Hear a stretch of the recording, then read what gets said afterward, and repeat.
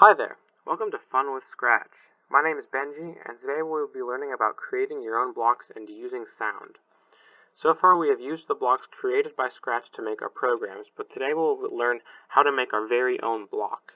Learning how to create your own blocks will allow you to save time and make more creative projects. Let's get started. Start by clicking on the pink My Blocks tab right under the variables. Right here, it should be the bottom one.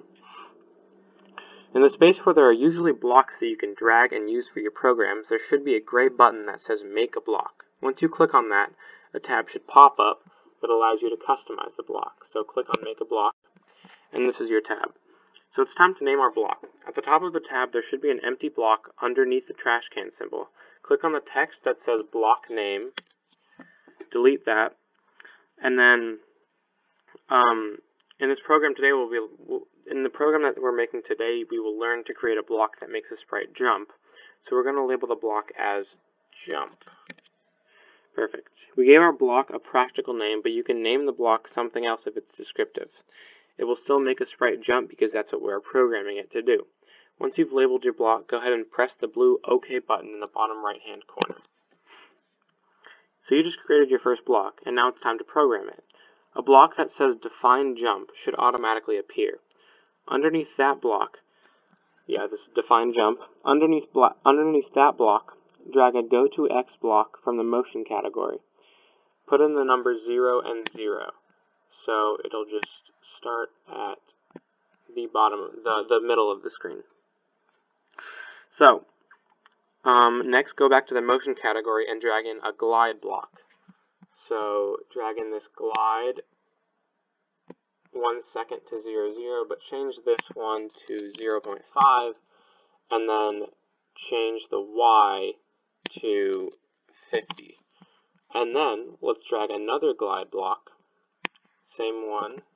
Let's make it the same number of seconds, 0 0.5 again, but this time it's going to go back to x0, y0.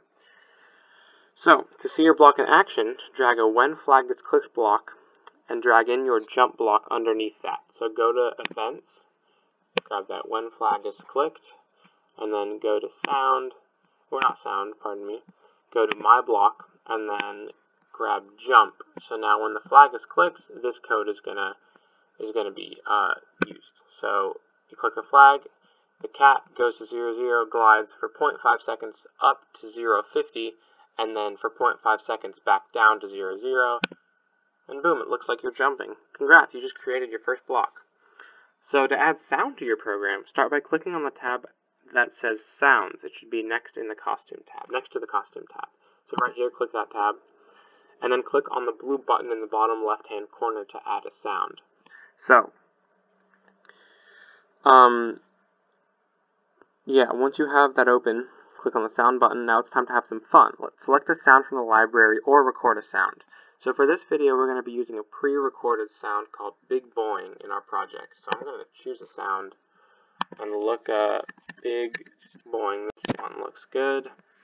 So now we have that sound, but we have to go and implement it in our code. So um, I'm going to put it before the glides and after the cat goes to 0, 0. So go to sound, drag out that sound that you just um, drag out start sound of the sound that you just got, and now put it in the code before the glide. So now, when the flag is clicked, the cat's going to do the jump function, which includes going to x0, y0.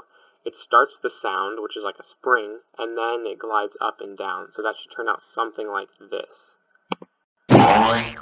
You see how it has a little spring sound before it and then the cat jumps and Congrats, so you made your first block.